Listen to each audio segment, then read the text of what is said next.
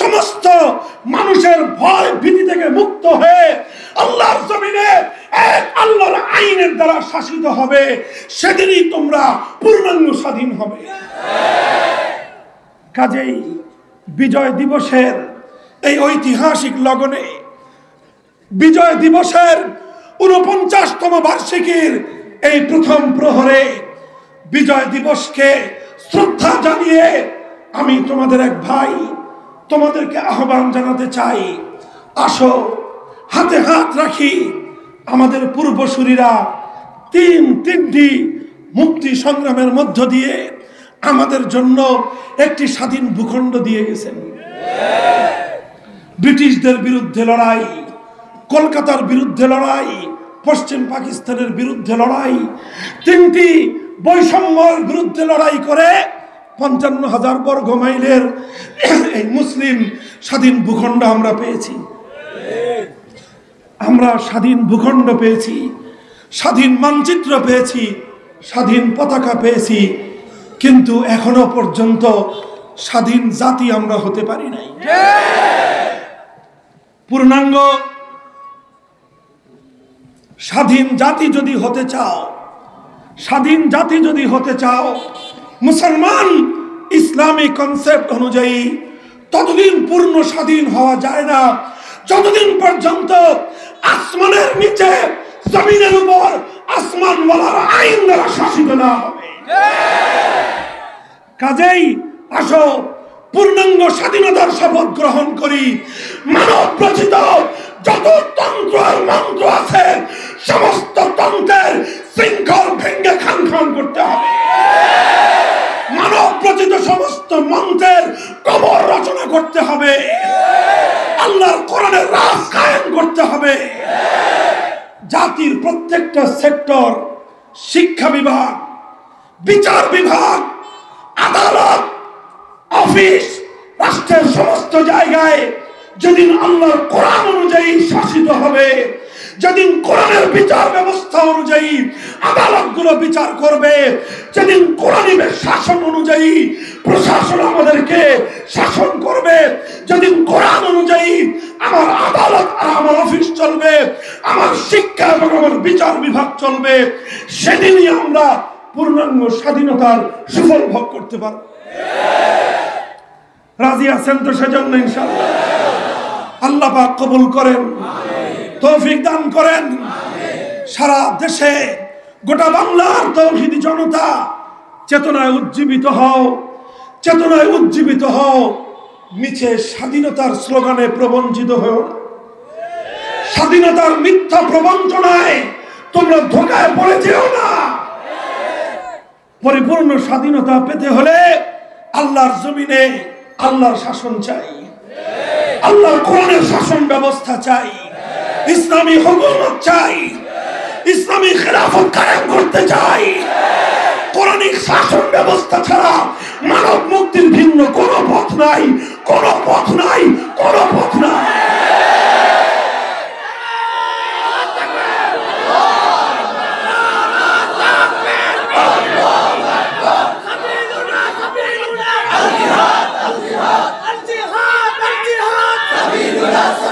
আল্লাহ পাক রব্বুল আলামিন আপনাদের সকলকে হিম্মত দান করুন, তৌফিক দান করুন।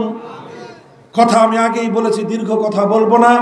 কারি ইসমাইল রহমতুল্লাহ আলাই ফাউন্ডেশনের উদ্যোগে আয়োজিত দুই দিন ব্যাপী আজিম উসানে মাহফিল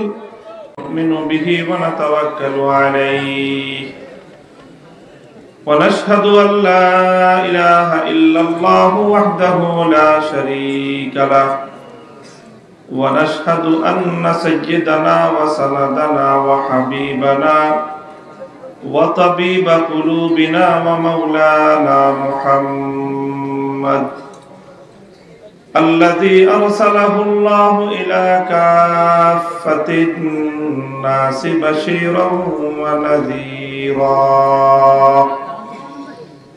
وداعيا إلى الله بإذنه وسراجا منيرا أما بعد فأعوذ بالله من الشيطان الرجيم. بسم الله الرحمن الرحيم. يا أيها الذين آمنوا ادخلوا في السلم كافة. ولا تتبعوا خطوات الشيطان إنه لكم عدو مبين. وقال رسول الله صلى الله عليه وسلم العلماء ورثة الأنبياء وإن الأنبياء لم يورثوا دينارا ولا درهما. إنما ورثوا العلم فمن أخذه أخذ بحظ وافر. بارك الله لنا ولكم في القرآن العظيم ونفعنا وإياكم بالآيات والذكر الحكيم. اللهم صل على محمد وعلى آل محمد. كما صليت على إبراهيم وعلى آل إبراهيم إنك حميد مجيد. اللهم بارك على محمد وعلى آل محمد كما باركت على إبراهيم وعلى آل إبراهيم إنك حميد مجيد. মোহতারাম হাজরাত ওলামাই কেরাম সম্মানিত ও শ্রদ্ধাভাজন মুরব্বী সাহেবান, সমবেত ইসলাম প্রিয় কোরআন প্রেমিক, নবী প্রেমিক, তৌহিদি মুসলমান ভাই ও বন্ধুগণ, পর্দার অন্তরাল বাসা বাড়িতে অবস্থানরত আমার সম্মানিত মা ও বোনেরা, আল্লাহ পাক রব্বুল আলমীর রসের শুক্রিয়া। দুই দিন ব্যাপী কারি ইসমাইল রহমতুল্লাহ আলী ফাউন্ডেশনের উদ্যোগে আয়োজিত আজিম উসান এই ইসলামী মহাসম্মেলনের শেষ দিবসের সর্বশেষ লগনে আখেরি মোনাজাত করার আগ মুহূর্তে আমরা এখানে এখন সমবেত রয়েছি। আজকের মাহফিল শুরু তো হয়েছিল পনেরোই ডিসেম্বর, কিন্তু এটা ঘড়ির কাটায় সময় অতিক্রম হতে হতে এখন ঘড়ির কাটা বারোটার সীমানা অতিক্রম করে আরও দূর অগ্রসর হয়ে গিয়েছে ক্যালেন্ডারে এখন আর পনেরোই ডিসেম্বর নয়, এখন চলছে হলো ষোলোই ডিসেম্বর। ষোলোই ডিসেম্বর আমরা জানি আমাদের জাতীয় জীবনে অত্যন্ত গুরুত্বপূর্ণ একটা দিবস। এখন কিছু তো বলতে হয় নাকি? আমাদের একটা সমস্যা কি জানেন? এখন যদি ষোলোই ডিসেম্বর সম্পর্কে কিছু বলি কালকে দেখা যাবে একদল বলতেছে, হুজুর ওয়াজ করবে, ষোলোই ডিসেম্বর নিয়ে হুজুর বলে কেন?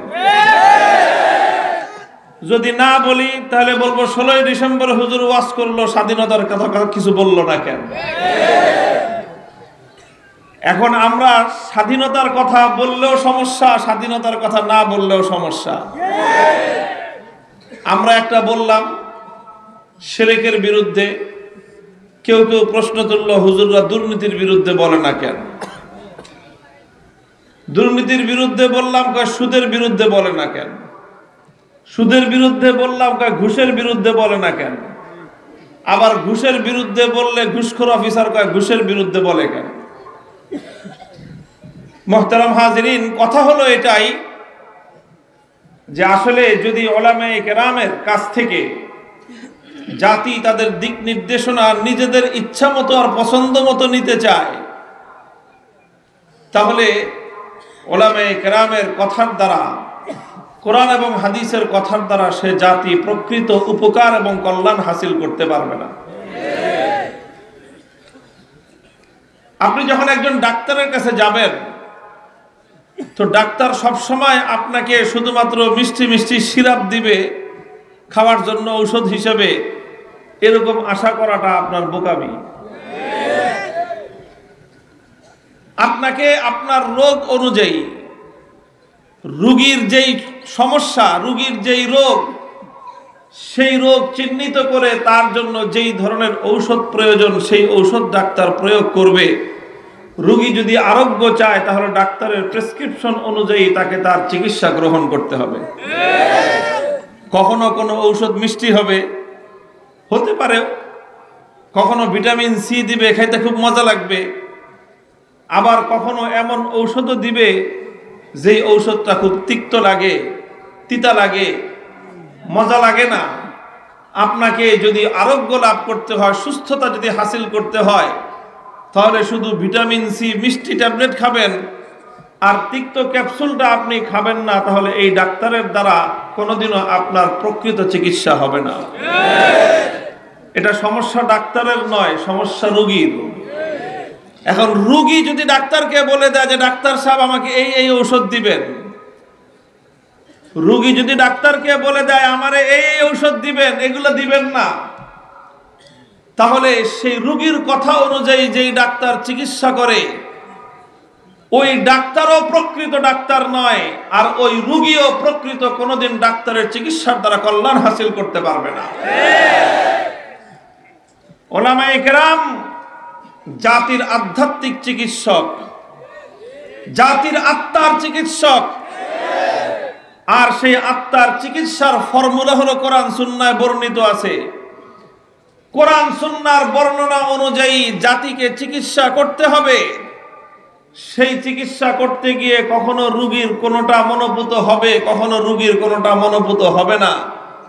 রুগীর মনের চাহিদা দেখে আর রুগীর মনস্কামনা দেখে যেই ডাক্তার চিকিৎসা করে, সেই ডাক্তার দ্বারা আর কিছু হতে পারে, প্রকৃত অর্থে রুগীর কল্যাণ হতে পারে না। মোহতারাম হাজরিন, কাজেই আলেম সমাজের কাছ থেকে গোটা জাতিকেই নির্দেশনা গ্রহণ করতে হয়।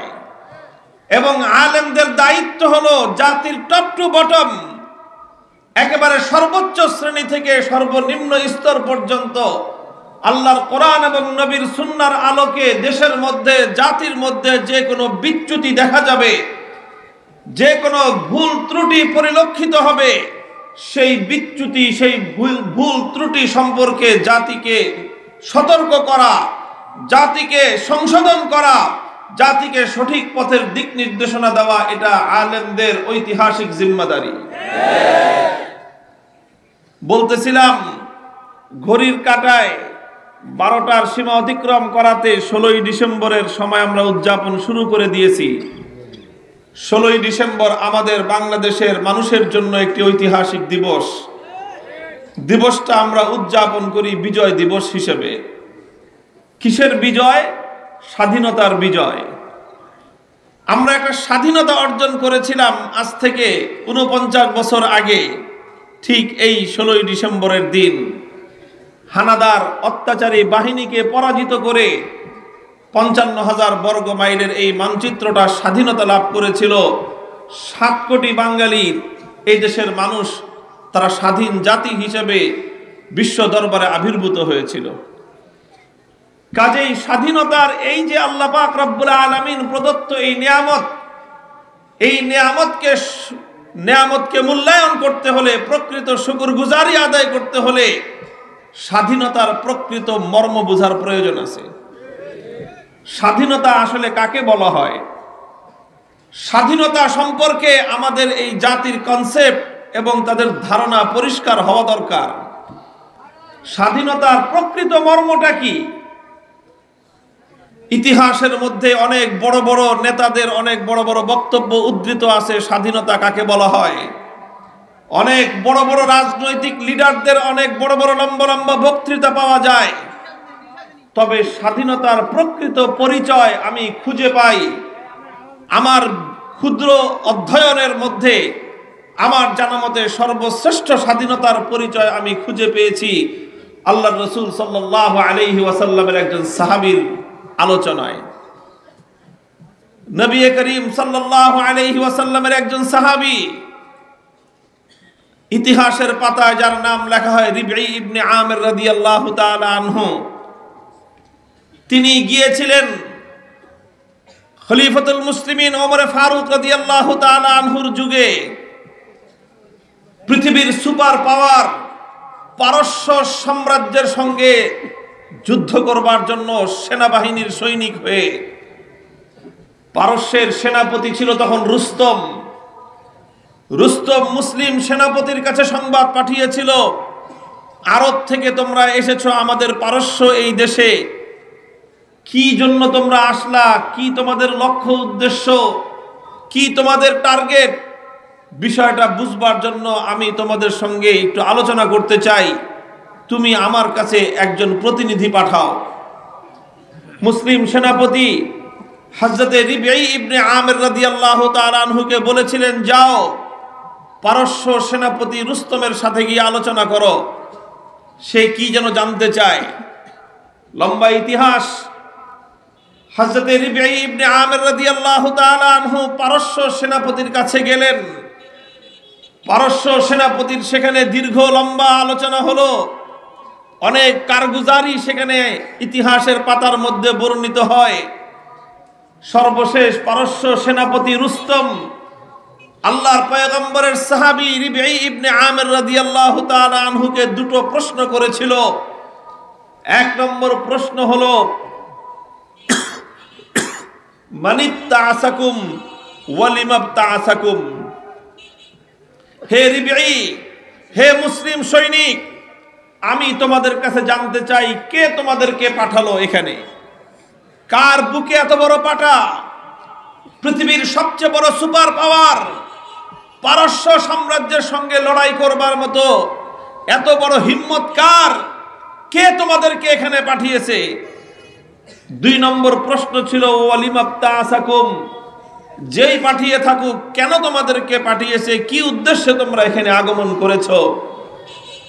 দুই প্রশ্ন ছিল, পারস্য সেনাপতির একজন সাধারণ মুসলিম সৈনিক, পৃথিবীর একটি সুপার পাওয়ার, সারা বিশ্বব্যাপী এক মহাশক্তিধর এক জাতির সেনাপতির সঙ্গে কথা বলবার সময় চোখের দিকে চোখ তুলে তাকিয়ে প্রথম প্রশ্নের জবাব দিয়েছিলেন, আল্লাহ ইফতা আসানা আল্লাহ ইফতা আসানা বলেছিলেন, হে পারস্য সেনাপতি রুস্তম, তুমি জানতে চেয়েছো কে আমাদেরকে পাঠিয়েছেন?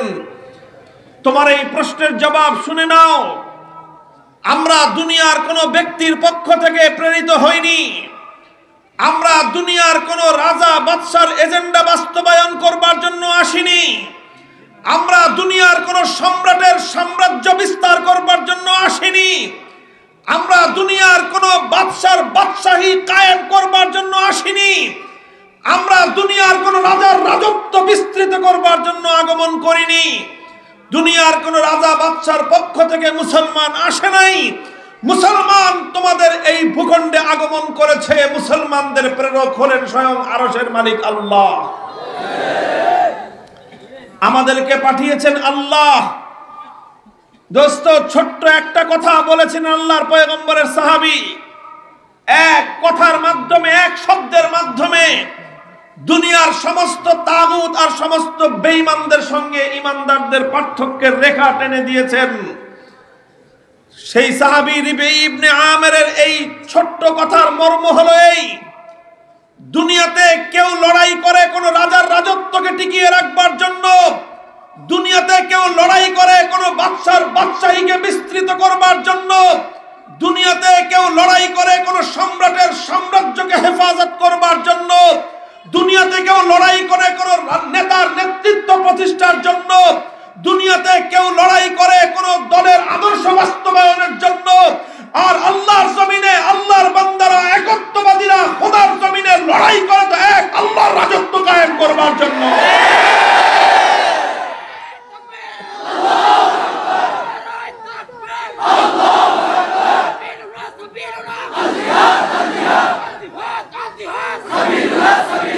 আল্লাহ রিবিআই ইবনে আমির আনহুর প্রথম কথাই পরিষ্কার। তার সঙ্গে পারস্য সৈনিকদের সাথে, পারস্য সেনাবাহিনীর সাথে মুসলিম সেনাবাহিনীর মূল তফাত হলো এই জায়গায়, হে পারস্য সেনাপতি, তোমাদের সৈনিক দল লড়াই করবে তোমাদের কিসরার জন্য, তোমাদের সৈনিক দল লড়াই করবে তোমাদের পারস্য সাম্রাজ্যকে রক্ষা করবার জন্য মুসলমানরা দুনিয়াতে কোনো কাজ করে, মুসলমানরা দাওয়াত দেয় তো আল্লাহর জন্য দাওয়াত দেয়, মুসলমানরা তালিম করে তো আল্লাহর জন্য তালিম করে, মুসলমান নিজের আত্মার পরিশুদ্ধি ঘটায় তো আল্লাহকে রাজি খুশি করবার জন্য ঘটায়, মুসলমান রাজনীতি করে তো আল্লাহর জন্য রাজনীতি করে, মুসলমান যুদ্ধ করে তো আল্লাহর দিনকে জিন্দা করবার জন্য যুদ্ধ করে। আল্লাহ ইবতাসানা। হযরত রিবিআই ইবনে আমির রাদিয়াল্লাহু তাআলা আনহুর ছোট্ট জবাব। ছোট্ট এক কথার জবাব, কিন্তু এক কথার মাধ্যমে তাম পৃথিবীর সমস্ত কাফের মুশরিকদের সঙ্গে একত্ববাদী ইমানদারদের দুনিয়ার মূল দৃষ্টিভঙ্গির পার্থক্য বর্ণনা করেছেন। আল্লাহ ইবতাসানা। দ্বিতীয় প্রশ্ন ছিল ওয়ালিম আবতাসাকুম বুঝলাম, আল্লাহ পাঠিয়েছেন, কিন্তু কেন পাঠালেন? কি তোমাদের উদ্দেশ্য, কি তোমাদের এজেন্ডা? রিবিয়াই ইবনে আমির রাদিয়াল্লাহু তাআলা আনহু বললেন, তিন দফা কর্মসূচি নিয়ে আল্লাহ পাক রব্বুল আলামিনের পক্ষ থেকে সোনার মদিনায় আমিরুল মুমিনিন ওমর বিন খাত্তাব রাদিয়াল্লাহু তাআলা আনহুর ইমারত এবং তার নির্দেশনায় পৃথিবীর সুপার পাওয়ার, এই পারস্য সাম্রাজ্যে আমরা আগমন করেছি। আমাদের এজেন্ডা কয়টা? তিনটা এজেন্ডা। এক নম্বর এজেন্ডা হলো, লিনুখরিজা মিন ইলা আমাদের এক নম্বর মিশন হলো, আমাদের প্রথম উদ্দেশ্য হলো, লিনুখরিজা মাংসা মিন ইবাদ ইলা আল্লাহ পাক রব্বুল আলামিন পৃথিবীর মানুষকে সৃষ্টি করেছেন মুক্ত এবং স্বাধীন হিসেবে। আল্লাহ দুনিয়াতে মানুষকে মানুষের গোলাম বানিয়ে সৃষ্টি করেননি। আল্লাহ পাক দুনিয়াতে মানুষকে মানুষের অধীনস্থ করে সৃষ্টি করেননি। বরং দুনিয়ার সমস্ত মানুষকে আমার আল্লাহ পাক রব্বুল আলামিন সমমর্যাদা দিয়ে সৃষ্টি করেছেন। লা ফাজলালি আরাবিন আলা আজম। আরবের কোনো প্রাধান্য নেই, আজমের উপর।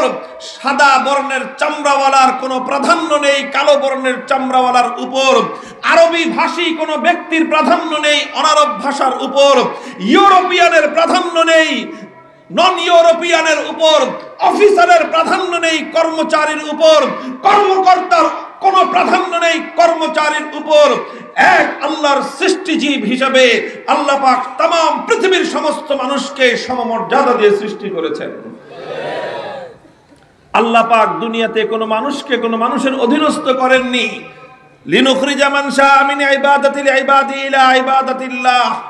কিন্তু দুনিয়ার বাস্তবতা হলো এই যুগে যুগে দুনিয়াতে কিছু মানুষ নিজেরা শক্তিমান হয়ে যায়। দুনিয়াতে কিছু মানুষ নিজেরা নিজেরা শারীরিকভাবে শক্তিমান হয়। ক্ষমতার দিক থেকে তারা আধিপত্য বিস্তার করে।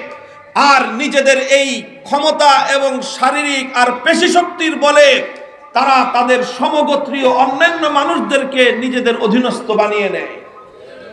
দুনিয়াতে যুগে যুগে সর্বযুগেই দেখা যায়, এক শ্রেণির মানুষ হয় যারা হয় শক্তিমান, যারা শক্তির বলে, যারা কেউ পেশি শক্তির বলে, যারা কেউ অস্ত্রের শক্তির বলে, নানা শক্তি প্রয়োগ করে অন্যান্য মানুষদেরকে নিজেদের অধীনস্থ করে নেয়, নিজেদের দাসে পরিণত করে। মানুষ হয়ে মানুষকে নিজেদের গোলাম বানায়, মানুষ হয়ে মানুষকে নিজেদের দাসত্বের শৃঙ্খলে বন্দি করে রাখে। আল্লাহ পাক রব্বুল আলামিন আমাদেরকে পাঠিয়েছেন। দুনিয়াতে মানুষের বানানো যত দাসত্বের শৃঙ্খল রয়েছে, দুনিয়াতে মানুষের কাঁধের উপর, মানুষের গলার উপর পড়িয়ে দেওয়া, অন্য আরেক শ্রেণির মানুষের গত যত গোলামীর জিঞ্জির রয়েছে, মানব রচিত সমস্ত গোলামীর জিঞ্জির গুলোকে ভেঙ্গে টুকরো করে দিয়ে তাম, পৃথিবীর সমস্ত মানুষকে এক, আল্লাহর গোলামি করবার মতো নিরাপদ পরিবেশ তৈরি করে দেওয়াটাই হলো আমাদের মিশন। দুনিয়াতে কোনো ভেদাভেদ চলবে না। মানুষের উপর মানুষের প্রভুত্ব চলবে না। মানুষের উপর মানুষের জুলুম চলবে না। মানুষের উপর মানুষের অত্যাচার চলবে না। মানুষ মানুষের অধিকার হরণ করবে, এটা চলতে দেওয়া যাবে না। আল্লাহ রব্বুল আলামিন ইমানদারদেরকে এই মিশন দিয়ে দুনিয়াতে পাঠিয়েছে। মুহতারাম হাজিরিন। হযরত রিবিঈ ইবনে আমির বললেন, হে পারস্য সেনাপতি, আমরা আল্লাহর নবীর শহর থেকে, সোনার মদিনা থেকে, আল্লাহর কোরআন এবং নবীর সুন্নার মাধ্যমে স্বয়ং আল্লাহর পক্ষ থেকে এই নির্দেশনা প্রাপ্ত হয়ে তোমাদের ভূমিতে এসেছি। আমাদের উদ্দেশ্য হলো, গোটা তোমাদের এই পারস্য সাম্রাজ্যের মধ্যে যত মানুষকে তোমরা তোমাদের বানানো আইনের শৃঙ্খল দ্বারা তোমরা তোমাদের বানানো শোষণের শৃঙ্খল দিয়ে তোমরা তোমাদের গোলাম বানিয়ে রেখেছ, তোমরা তোমাদের দাস বানিয়ে রেখেছ। আমরা এসেছি আল্লাহর ওই সমস্ত বান্দাগুলোকে তোমাদের দাসত্ব আর গোলামীর জিঞ্জির থেকে মুক্ত আর স্বাধীন করে আল্লাহর জমিনে এক আল্লাহর স্বাধীনভাবে এবাদত করবার, পরিবেশ তৈরি করবার জন্য অধিকার ফিরিয়ে দেওয়ার জন্য। এটা হলো প্রথম মিশন। এরপরে আরও দুটো কথা তিনি বললেন। সেই দুটো কথা, এই প্রথম কথারই পরিপূরক। ওয়ামিন লিনুখরিজা মান শাআ মিন ইবাদাতিল ইবাদি ইলা ইবাদাতিল্লাহ। ওয়া মিন যায়কিদ দুনিয়া ইলা সাআতিহা। ওয়া মিন জাওরিল আদিয়ানি ইলা আদলিল ইসলাম। আমাদের প্রথম উদ্দেশ্য হলো, দুনিয়ার মানুষকে সমস্ত মানব রচিত দাসত্ব আর গোলামীর জিঞ্জির থেকে মুক্ত করে, এক আল্লাহর গোলামি করবার মতো মুক্ত আর স্বাধীন পরিবেশ তৈরি করে দেওয়া। দুই নম্বর উদ্দেশ্য হলো যে দুনিয়াতে যত সংকীর্ণতা রয়েছে, সমস্ত সংকীর্ণতাগুলোকে ভেঙ্গে গুড়িয়ে দিয়ে দুনিয়ার মানুষের জিন্দগিতে একটা সাবলীলতা আর একটা প্রশস্ততা সৃষ্টি করা। আর তিন নম্বর উদ্দেশ্য হলো, ওয়ামিন জাউরিল আদিয়ানি ইলা আদলিল ইসলাম।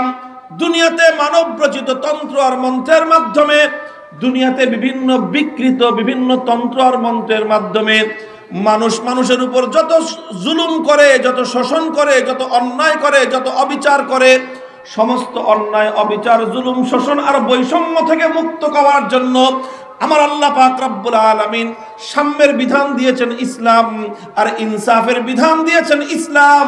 আমরা এসেছি সমস্ত জুলুম আর বৈষম্যের কবর রচনা করে ইসলামের সাম্য আর শান্তি প্রতিষ্ঠা করবার জন্য। মোহতারাম হাজরিন, কথা লম্বা বলব না।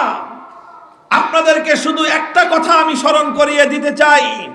ইনসাফ কায়েম করা, সাম্য কায়েম করা, বৈষম্য দূর করা, এটাকে আজকে শুধুমাত্র রাজনীতি মনে করা হয়। এটাকে রাজনীতি মনে করা হয়। জুলুম এবং বৈষম্য দূর করা, এটা শুধুমাত্র রাজনীতি নয়, এটা ইসলাম এবং এটা ইমাম। আল্লাহর কোরআন খুলেন, কোরআনে পাকের সুরতুল হাদিদ তেলাওয়াত করেন। আমার আল্লাহ পাক রব্বুল আলামিন বলেছেন, লাকাদ আরসালনা রুসুলানা বিল বায়িনাত ওয়া আনজালনা মাআহুমুল কিতাবা ওয়াল মিজান লিয়াকুমান নাসু বিল কিসত ওয়া আনজালনাল হাদিদা ফীহি বাসুন শাদীদুন ওয়া মানাফিউ লিন-নাস। সংক্ষেপে অর্থ হলো এই, আল্লাহ পাক রব্বুল আলামিন বলেন, আমি যুগে যুগে আমার রসুলদেরকে প্রেরণ করেছি। শত শত হাজার হাজার নবী রসুল আমি আল্লাহ প্রেরণ করেছি। আর তাদের সঙ্গে আমি আসমান থেকে কিতাব নাজিল করেছি। আমার সেই সমস্ত নবী রসুল আর সেই সমস্ত কিতাব নাজিল করবার উদ্দেশ্য কি ছিল? কিস্তি। আমার মূল উদ্দেশ্য হলো নবী রসুল প্রেরণ করার। আর আসমান থেকে কিতাব নাজিল করবার ক্ষেত্রে আমার আল্লাহ বলতেছেন, আমার একটা উদ্দেশ্য হলো দুনিয়াতে মানুষের মধ্যে সাম্য এবং ইনসাফ কায়েম করা। সমস্ত নবীরা দুনিয়াতে আগমন করেছিলেন, ইনসাফ কায়েম করবার জন্য। সমস্ত পয়গম্বরগণ দুনিয়াতে আগমন করেছিলেন, সাম্য এবং ন্যায় বিচার কায়েম করবার জন্য। আর এই সাম্য এবং এই ন্যায় বিচার যাতে প্রতিষ্ঠিত হতে পারে, এজন্য আল্লাহর রসুল মুহাম্মদ আরবি সাল্লাল্লাহু আলাইহি ওয়াসাল্লাম তার জিন্দগির বড় একটা অধ্যায় তিনি এক্ষেত্রে ব্যয় করে দিয়েছেন। মোহতারাম হাজিরিন, আর দুনিয়াতে আল্লাহর পক্ষ থেকে যত গজব নাজিল হয় দুনিয়াবাসীর উপর আল্লাহর পক্ষ থেকে যত আজাব আসে, দুনিয়ার মানুষকে আমার আল্লাহ পাক আলামিন যত পাকড়াও করেন, আল্লাহর সেই সমস্ত আজাব গজব আর আল্লাহর পক্ষ থেকে সেই সমস্ত পাকড়াও গুলো আসার বড় একটা কারণ হলো, যখন আল্লাহর জমিনের মধ্যে বৈষম্য কায়েম হয়, বেইনসাফি কায়েম হয়, সমাজের মধ্যে যখন এক শ্রেণির মানুষ আর এক শ্রেণির মানুষের উপর জুলুম করে, অত্যাচার করে সেই জুলুম আর অত্যাচারের কারণে আল্লাহর আরশের পক্ষ থেকে, আসমানের উপর থেকে, জমিনওয়ালাদের উপর, দুনিয়ার মানুষের উপর আল্লাহর গজব নেমে আসে। ছোট্ট একটা হাদিসের উদ্ধৃতি দেই। আল্লাহ রসুল সাল্লাহ আলাইহি ওয়াসাল্লাম যখন মক্কা বিজয় করলেন, মক্কায় আল্লাহর কোরআনের বিধান কায়েম হলো। মক্কা শরীফের মধ্যে একটা অপরাধ সংগঠিত হলো। একটা মহিলা চুরি করল, চুরি করে সে ধরা পড়ল। সেই মহিলা ঘটনাচক্রে সম্ভ্রান্ত পরিবারের একজন মহিলা, মহিলাটার নাম হলো ফাতেমা। ফাতেমায় মখজুমিয়া, কোরাইশ গোত্রের মধ্যে সম্ভ্রান্ত একটা পরিবার হলো বনু মখজুম। সেই বনু মখজুম পরিবারের এই মেয়ে ফাতেমায় মখজুমিয়া চুরি করে ধরা পড়ল। সে যখন চুরি করে ধরা পড়ল এখন তো কোরআনের বিধান কায়েম হবে। আল্লাহর কোরআনের বিধান হলো চোর চুরি করে ধরা পড়লে, আদালতের সামনে তার অপরাধ নিরঙ্কুশ সাক্ষ্যের দ্বারা প্রমাণিত হলে তার হাত কেটে দেওয়া হবে। তখন মক্কার ফাফাজিয়া কৌমুহা ইলা উসামাতা, বুখারী শরীফের হাদিস, যেই মেয়েটা চুরি করে ধরা পড়ল, তার পরিবার, পরিজন এবং তার গোত্রের লোকেরা তারা দুশ্চিন্তাগ্রস্ত হয়ে পড়ল যে হায় হায়, এখন এই মহিলা মেয়েটা ধরা পড়েছে চুরি করে। এখন তো আর আগের দিনের বিচার নাই। এখন তো মদিনা মক্কা শরীফের মধ্যে ইসলাম কায়েম হয়েছে। আল্লাহর রসুল এখানে বিচারক। আর বিচার হবে দুনিয়ার কোনো মানুষের আইন অনুযায়ী নয়। বিচার হবে আল্লাহর কোরআনের আইন অনুযায়ী। আর কোরআনের আইন তো হলো মেয়েটার হাত কেটে দেওয়া হবে। এখন তাদের দুশ্চিন্তার বিষয় হলো যদি এই মেয়েটার হাত কেটে দেওয়া হয়, তাহলে হাত কাটা যাবে একটা মেয়ে মানুষের, কিন্তু নাক কাটা যাবে গোটা বংশের। নাক কাটা যাবে গোটা বংশের, কারণ এই মেয়েটা একটা সম্ভ্রান্ত বংশের, প্রভাবশালী একটা বংশের মহিলা। এমন প্রভাবশালী যেটা কোরাইশ বংশের পৃথিবীতে সবচেয়ে মূল্যবান, দামি যেই বংশ, সবচেয়ে সম্মানিত যেই বংশ। শুধু কোরাইশ বংশের নয় বরং কোরাইশ বংশেরও একটা সম্ভ্রান্ত পরিবার বনু মখজুম, যেই বনু মখজুমের সাথে রসুল সাল্লাহ আলহি দাদির একটা রক্তের সম্পর্ক ছিল, নবীজির রক্তের সম্পর্কের একটা পরিবার।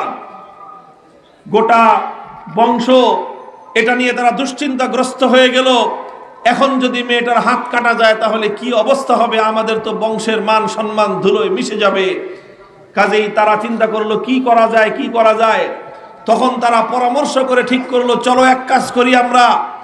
রসুল সাল্লাহ আলহি ওয়াসাল্লামের কাছে এই মেয়েটার ব্যাপারে আমরা সুপারিশ করি, তদবির করি। মেয়েটার পরিচয় নবীজির কাছে তুলে ধরি, জিয়া রাসুল্লাহ এই মেয়েটা কিন্তু আপনার বংশের। এই মেয়েটা কিন্তু আপনার সঙ্গে তার ব্লাড কানেকশন রয়েছে।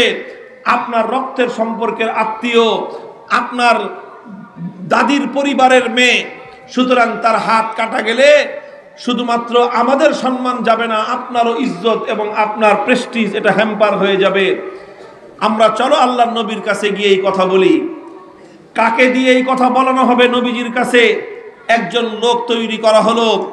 সেই লোকটা সাধারণ কেউ নন, তিনি হলেন উসামা ইবনে জায়েদ, হিব্বু রাসূলুল্লাহি সাল্লাল্লাহু আলাইহি ওয়াসাল্লাম, যাকে আল্লাহর নবীর প্রিয় পাত্র বলা হতো। নবীজি যাকে অনেক বেশি ভালোবাসতেন সম্পর্কে নবীর নাতি হয় নবীজির পালক পুত্র জায়েদের ছেলে হজরত উসামা। সেই বনু মখজুম লোকেরা উসামাকে গিয়ে বলল, তুমি আল্লাহ নবীর কাছে আমাদের মেয়েটার জন্য একটু তদবির করো, সুপারিশ করো। উসামা ইবনে জায়েদ আল্লাহর নবীর কাছে এলেন। এসে তিনি নবীজিকে বললেন, ইয়া রাসূলুল্লাহ, এই মেয়েটা কিন্তু আপনার বংশের, আপনার আত্মীয়, আপনার সঙ্গে তার রক্তের সম্পর্ক আছে। সুতরাং আপনি যদি তার হাত কাটা কেটে দেন, তাহলে আপনার বংশের মান সম্মান ধুলোয় মিশে যাবে। হজরত উসামা যখন আল্লাহর নবীর কাছে কথা বলতে এলেন, এই কথা শুনে আল্লাহর রসুলের চেহারাটা পরিবর্তন হয়ে গেল। নবীজির চেহারা রক্তিম লাল বর্ণ ধারণ করল। আমার নবীজি যখন রাগান্বিত হতেন, নবীর চেহারা লাল হয়ে যেত। ফাঁকা আন্নামা ফুকি আফি ওয়াজিনাতাইহি হাব্বুর রুম্মান। মনে হতো আমার নবীর চেহারার মধ্যে বেদানার রস ছিটিয়ে দেয়া হয়েছে। নবীজি রাগে অগ্নিশর্মা হয়ে উসামাকে ধমক দিলেন যে, উসামা, তোমার এত বড় দুঃসাহস। আল্লাহর জমিনে আল্লাহর কোরআনের বিধান বাস্তবায়ন হবে। আর সেই বিধান বাস্তবায়নের ক্ষেত্রে প্রতিবন্ধকতা তৈরি করবার জন্য তুমি এসে তদবির করতেছো। খবরদার, তোমাকে হুঁশিয়ার করে দিলাম। ভবিষ্যতে আর কোনোদিন আমার দরবারে এমন তদবির নিয়ে তুমি আসবে না। আল্লাহর নবী উসামাকে ধমক দিলেন। নবীজি বুঝতে পারলেন ব্যাপারটা উসামার একার নয়। উসামা একা আমার সামনে এসেছে, কিন্তু উসামার পিছনে আমার গোটা বংশ জড়িত আছে। গোটা মক্কার মানুষ এর সঙ্গে জড়িত আছে। আর এর সঙ্গে শত শত বছর ধরে চলে আসা এই জাহিলিয়াত আর এই বড় বড় অসভ্যতা এটার পিছনে সম্পৃক্ত আছে। সুতরাং শুধু উসামা একাকে সংশোধন করলে হবে না, গোটা দেশ সংশোধন করতে হবে, গোটা জাতির মানসিকতার সংশোধন করতে হবে। আল্লাহর নবীজি ফালাম্মা কানাল আশিও কাম রাসূলুল্লাহ সাল্লাল্লাহু আলাইহি ওয়াসাল্লাম বিকাল বেলা যখন হলো, আসরের নামাজ আদায় করে আল্লাহর নবী পবিত্র বাইতুল্লাহকে সামনে রেখে মসজিদ হারামের মধ্যে দাঁড়িয়ে গেলেন খুতবা দেওয়ার জন্য, ভাষণ দেওয়ার জন্য। মক্কা বিজয়ী মহাবীর মুহাম্মদ আরবি ওয়াসাল্লাম পবিত্র মক্কা বিজয় করবার পর জাতির উদ্দেশ্যে ভাষণ দিচ্ছেন। গোটা মক্কার সমস্ত মানুষ নবীজির ভাষণ শুনবার জন্য উন্মুখ হয়ে আছে। আল্লাহ নবী যেই ভাষণ দিলেন, হে দুনিয়ার মুসলমান, আজ ইসলামের এবং মুসলমানদের এই পতনের যুগে আমার নবীর সেই কথাগুলো শোনার অক্ষরে আজও পর্যন্ত হাদিসের পাতায় লিপিবদ্ধ আছে। তবে মুসলমানরা সেই কথা আজ ভুলতে বসেছে। আল্লাহর নবীজি তখন নিজের জাতিকে ডেকে বললেন যে দেখো হে আমার জাতি, ইন্নামা হালাকা মান কানা কাবলাকুম, ইজা শরীফ তারাকুহু। হে আমার জাতি, তোমরা লক্ষ্য করে দেখো, আল্লাহ পাক আমাদের পূর্ববর্তী অনেক জাতিকে ধ্বংস করে দিয়েছেন। কি ছিল তাদের অপরাধ? শুধু নামাজ পড়ে নাই এই অপরাধে নয়, শুধু মদ্যপান করেছে এই অপরাধে নয়, বরং আমার আল্লাহ পৃথিবীর পূর্ববর্তী অনেক জাতিকে ধ্বংস করে দিয়েছেন। তাদের অপরাধ কি ছিল? তাদের অপরাধ ছিল এই, যখন তাদের মধ্যে কোনো দুর্বল মানুষ অপরাধ করত, কোনো গরিব মানুষ অপরাধ করত কোনো দুর্বল মানুষ অপরাধ করত, তখন সেই গরিবের উপর আর সেই দুর্বলের উপর তারা আইনের শাসন একশো ভাগের জায়গায় দুইশো ভাগ কায়েম করত। ওয়াইজা সারাকাফি হিমুস শরীফ। আর ওই একই অপরাধ করেছে কোন প্রভাবশালী ব্যক্তি, একই অপরাধ করেছে কোন টাকাওয়ালা শিল্পপতি, একই অপরাধ করেছে কোন ক্ষমতাবান ব্যক্তি। এই ধরনের প্রভাবশালী ব্যক্তিরা যখন তারা অপরাধ করত তারা কুহু যেই অপরাধে গরিবের হাত কাটা যেত, একই অপরাধ করবার পর বড় লোককে ছেড়ে দেওয়া হতো। যেই অপরাধের কারণে দুর্বলের কঠিন শাস্তি হতো, একই অপরাধ করবার পরেও সবল এবং প্রভাবশালী ব্যক্তিকে আইনের হাত তার কাজ কাজ স্পর্শ করতে পারতো না। এভাবে সমাজের মধ্যে দুর্বলের জন্য এক বিচার, সবলের জন্য আরেক বিচার, সমাজের মধ্যে গরিবের জন্য এক বিচার, বড় লোকের জন্য আরেক বিচার। এই যখন কোন সমাজের মধ্যে, কোন জাতির মধ্যে কায়েম হয়েছে, আল্লাহ পাক রব্বুল আলমিন অনেক অপরাধ বরদাস্ত করে নেন। কিন্তু জাতির মধ্যে দুই ধরনের বিচার, বৈষম্যের বিচার, বেইনসাফির বিচার আমার আল্লাহ বরদাস্ত করেন না। এজন্য আল্লাহ পাক বহু জাতিকে ধ্বংস করে দিয়েছেন। এরপরে আল্লাহর নবী বললেন, হে আমার জাতি মক্কার অধিবাসীরা, তোমরা আজকে মনে করছ আমার পরিবারের একটা মেয়ে, আমার সঙ্গে আত্মীয়তার সম্পর্ক, রক্তের সম্পর্ক থাকার কারণে অপরাধ প্রমাণিত হওয়ার পরেও আমি তার উপর আল্লাহর কোরআনের বিধান বাস্তবায়ন করব না। এজন্য তোমরা আমার কাছে তদবির নিয়ে এসেছ। আমার স্পষ্ট ঘোষণা শুনে রাখো। ওয়াল্লাহ, লাউ আন্না ফাতিমা বিনতা মুহাম্মাদিন সারাকাত লাকাতাতু ইয়াদাহা। আল্লাহর নবী বললেন, আল্লাহর কসম খেয়ে আমি বলছি, আল্লাহর নামের শপথ করে আমি বলছি, আজকে আমার রক্তের সম্পর্কের বনু মখজুম গোত্রের ফাতেমা শুধু নয়, আজ যদি আমি নবী মোহাম্মদ আরবির কলিজার টুকরা সন্তান, আমার সবচেয়ে আদরের সন্তান, আমার আদরের দুলালি মোহাম্মদের মেয়ে ফাতেমা যদি আজকে চুরি করে ধরা পড়তো, আল্লাহর কসম খেয়ে বলি, আমি তার বাপ হয়েও তার হাত কাটতে এক মুহূর্ত বিলম্ব করতাম না। মোহতারাম হাজরিন, এই হাদিস, বুখারি শরীফের হাদিস, এই হাদিস থেকে একটা মেসেজ কেমন পর্যন্ত আনেওয়ালা। সমস্ত মুসলমানদেরকে আল্লাহর নবী দিয়েছেন। যখন তোমাদের মধ্যে বৈষম্য দেখা দিবে যখন তোমাদের মধ্যে বেইনসাফি দেখা দিবে সেই বেইনসাফি আর বৈষম্য যদি তোমরা রুখে দিতে না পারো সেই জুলুম এবং অত্যাচার যদি তোমরা রুখে দিতে না পারো তাহলে তোমরা অপেক্ষা করো আসমানের উপর থেকে আজাব এসে তোমাদেরকে ধ্বংস করে দিবে। মোহতারাম হাজরিন আমি নবীজির একটা হাদিস বললাম, নবীর সাহাবির একটা ইতিহাসের উদ্ধৃতি দিলাম। এরপরে আমার কনক্লুশন আমার মেসেজ হলো আপনাদের কাছে এটাই। যুগে যুগে আমরা লড়াই করেছি, আমাদের পূর্বপুরুষরা লড়াই করেছিল এই জুলুমের বিরুদ্ধে বৈষম্যের বিরুদ্ধে। এই জুলুমের বিরুদ্ধে একশত পঁচানব্বই বছর পর্যন্ত ইংরেজদের বিরুদ্ধে লড়াই করা হয়েছিল। সে লড়াই ছিল ইংরেজদের জুলুমের বৈষম্যের বিরুদ্ধে লড়াই। এরপর কলকাতার দাদাবাবুদের বিরুদ্ধে লড়াই করেছিল আমাদের এই পূর্ববঙ্গের মুসলমানেরা। সেটা ছিল দ্বিতীয় পর্বের স্বাধীনতার লড়াই। আর ওই লড়াই ছিল কলকাতার দাদাবাবুদের, তাদের আধিপত্য থেকে নিজেদের জাতিকে মুক্ত করবার লড়াই।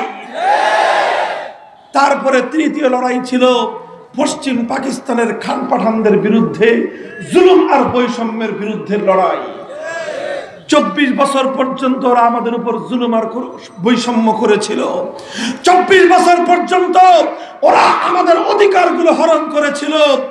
সাত কোটি মানুষের অধিকার হরণ করে আমার দেশ থেকে সম্পদ পাচার করে পশ্চিম পাকিস্তানকে সমৃদ্ধ নগরী হিসেবে গড়ে তুলবার আর পূর্ব পাকিস্তান এই বাংলাদেশকে অবহেলার দৃষ্টিতে দেখেছিল ওরা। ইসলাম এটাকে কোনোদিন সমর্থন করে না। এ বৈষম্যকে ইসলাম সমর্থন করে না। ইসলাম সবসময় বলে, যেখানেই জুলুম, সেখানেই প্রতিরোধ, যেখানেই বৈষম্য, সেখানেই মুক্তিযুদ্ধের সংগ্রাম।